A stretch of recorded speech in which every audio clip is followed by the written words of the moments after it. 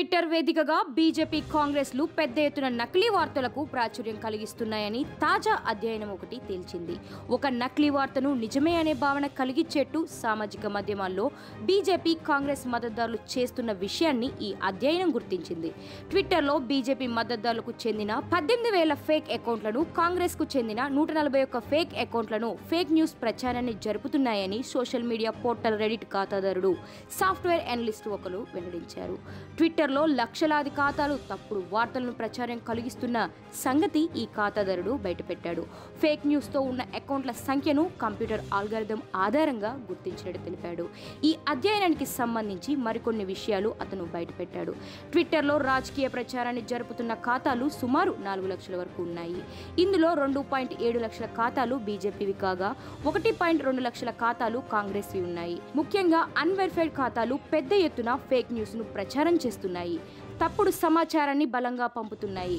విద్వేషం నిందలతో కూడిన సమాచారాన్ని పెద్ద ఎత్తున వెదజల్లుతున్నాయి. మరి ఇలాంటి ఫేక్ న్యూస్ని ఎవరు రీట్వీట్ చేస్తున్నారన్నది పరిశీలించగా బీజేపీ నాయకుల మద్దతుదారులు వెరిఫైడ్ ఖాతాల నుంచి జరుగుతున్నదని తేలింది. ప్రతిరోజు నాలుగు గంటల పాటు పనిచేసి ఫేస్బుక్ను ప్రచారం చేస్తున్న ఖాతాలని గుర్తించనని పరిశోధకుడు రెడిట్ ఖాతాదారుడు పేర్కొన్నాడు. జనవరి ఐదున జేఎన్యూలో చోటు చేసుకున్న ఘటన దేశవ్యాప్తంగా సంచలనం రేపింది.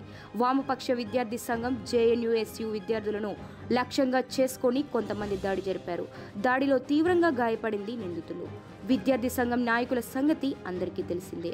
అయితే ఈ ఘటనలో వాస్తవాల్ని వక్రీకరిస్తూ ట్విట్టర్లోని అన్వెరిఫైడ్ ఖాతా ఫేక్ న్యూస్ను సృష్టించింది.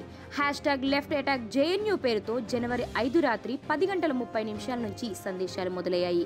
BJP IT head Amit Malviya సహా అనేక మంది ఆ పార్టీ మద్దతుదారులు ట్విట్టర్లో hash tag left attack JNU అనే దాన్ని రీట్వీట్ చేశారు.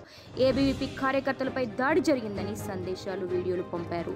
ఈ ఫేక్ న్యూస్ను మూడు వేల మంది రీట్వీట్ చేయగా దీంట్లోని వీడియోల్ని నలభై వేల మంది చూశారు.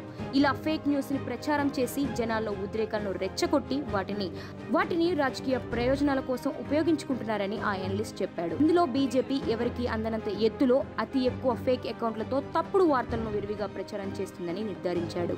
ఈ వీడియో మీకు నచ్చినట్లయితే లైక్ చేయండి షేర్ చేయండి. ఇలాంటి మరిన్ని అప్డేట్స్ కోసం మన ఛానల్ని సబ్స్క్రైబ్ చేసి కింద కనిపిస్తున్న బెల్ బటన్ క్లిక్ చేయండి.